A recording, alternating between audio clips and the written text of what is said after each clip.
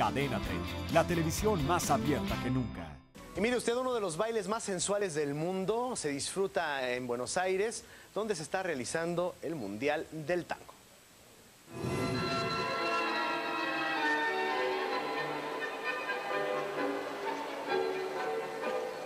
En Buenos Aires, en la usina del arte, en el barrio de La Boca, comenzó el Festival y Mundial de Tango.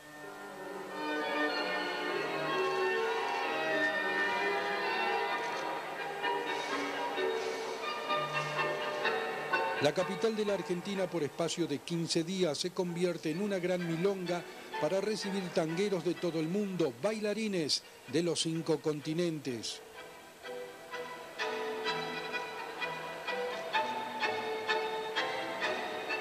Bueno, me parece que va a ser un festival y campeonato mundial que se renueva una vez más.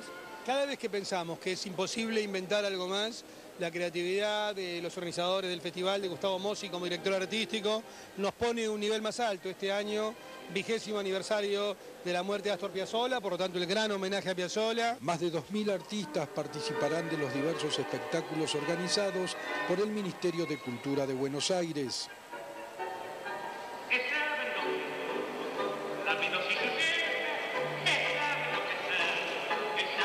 Se espera que unas 400.000 personas asistan a las clases gratuitas de perfeccionamiento, conciertos y conferencias.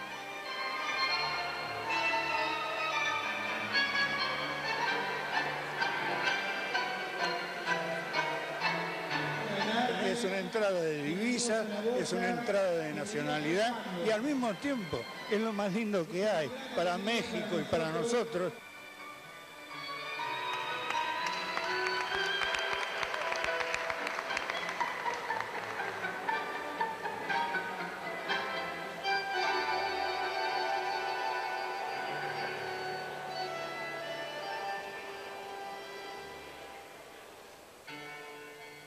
En Buenos Aires, Argentina, Cadena 3 Noticias, Marcelo Luis Ojeda.